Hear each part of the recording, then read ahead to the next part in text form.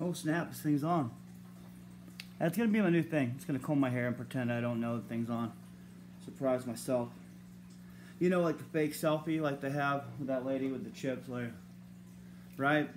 Anyways, why am I doing this? Uh, it's Richard Jones, Rich, Mr. Jones, Master Jones, as some people know me. Um, all of a sudden, I'm starting to post videos like I don't know what, and everyone's like, "Why? Why are you doing that?" Um, outside of the perfunctory response, because I am also going to say, when am I going to stop combing my hair? Guess what? Hashtag never. Um, I just realized I probably should be recording this. Like, I've been writing books for years up here. Uh, anything on paper? Yeah, lots of little scribbles and everything. And all of a sudden, this one amazing student of mine, without any prompting whatsoever, and that's what makes it so amazing. She comes up to me and hands me um, something that looks like a, I don't know, a manuscript, you know, for a very, very short play, skit maybe. Um, I'll show you what it is if I can cover it up here. Sorry, a little close to my beard. But, um, at any rate, you guys see that? Things that Mr. Jones says. Okay, um, and I was looking at it, and I saw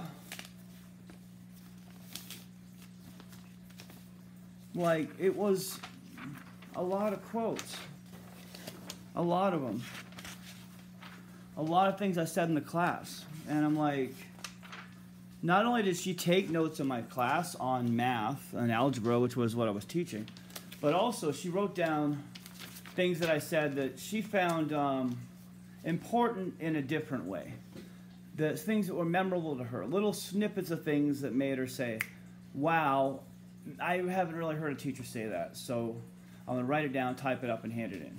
Um, she's also the person who literally has plastered my wall with these awards, brings them in in the multitudes every day. And I want to say, if I were to record over uh, time a geometric sequence um, of a representation of how much of these she brings in, um, I would have to say it would not be a geometric sequence. It would be a more to the quadratic, as in exponentially, okay?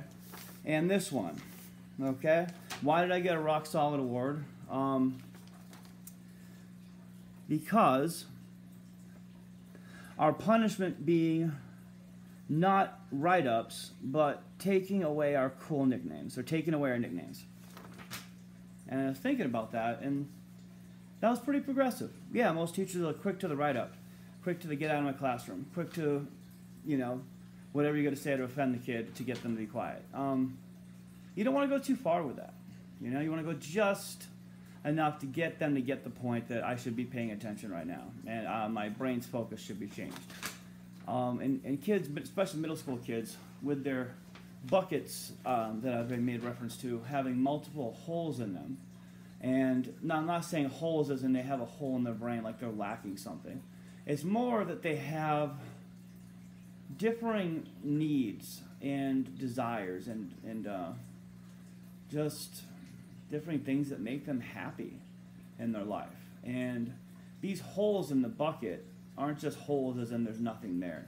These holes most assuredly have tubes connected to them that lead to other parts of their lives, like um, video games and boyfriends and girlfriends and um, anything besides homework that they do after school, clubs and activities. We just had a pep rally at school and it really made me sit and realize just how many things that my students I teach math for one hour a day have that amazing privilege to do.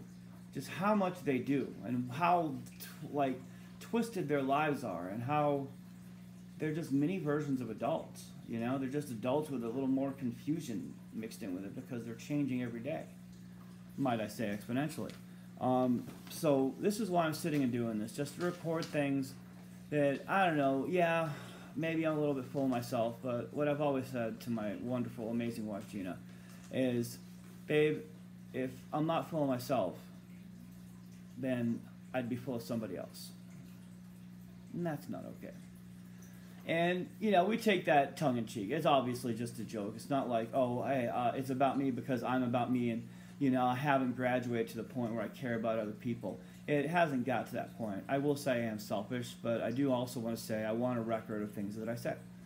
One of these days, my children will probably want to know, hey, what was dad like at this particular time? And maybe they don't remember for any reason, and maybe someone's not ready to regale the tale. Um, so I just want to have a record of it. Um, it's going to be written in a book. This is what I'm talking about is going to be a book, guaranteed. All of this right here is like the, the preamble to what is going to be my constitution. Okay.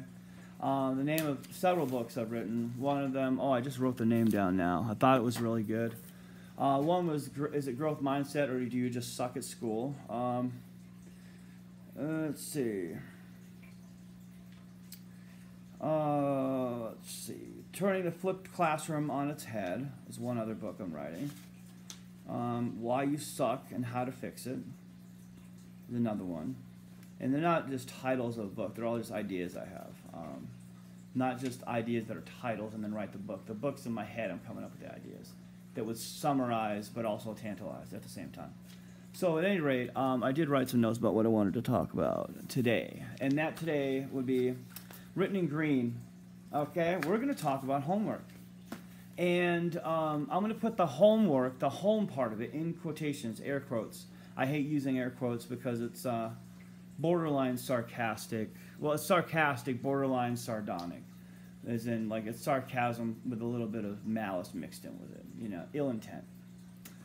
So, at any rate, why am I talking about homework? Um, I'm going to tie it in directly to something I just invented right now. I wrote it down so I can claim the term immediately. Let me make sure I got this written down correctly. Yes, the following term, which I'm also going to label this video as, uh, is mine, invented, named, defined, and identified by Richard A. Jones II, which is me. And if it somehow comes out as just Richard A. Jones, uh, that is also me. My father was named Richard Arnold Jones he named me Richard Arnold Jones as well, and he was quick to say how uh, poor my mother was at education just because she forgot to put a junior on my name. And that was a slap to my mother and to me because that's my mom, bro. So, at any rate, um, I am always going to be Richard A. Jones the second. But as far as rank, if this was Fortnite, I would be the last one on, last one there. Okay, eliminated by me. All right. And yes, kids, I finally got on Fortnite. Uh, it, it, took two weeks, ironically, right? Because it's a fortnight, guys. Come on, do your homework. Speaking of homework, let's talk about it. It's been eight minutes. I haven't talked about it. Um, oh, and the term that is invented, named, defined, and identified by me is called geomemorization. And it sounds like you're memorizing where things are. Not true and maybe how I constructed the term is not exactly what it should be. So someone out there finds another way to name it and recall it that, whatever that is, I also call dibs on that and the idea behind it because I'm the one who created it.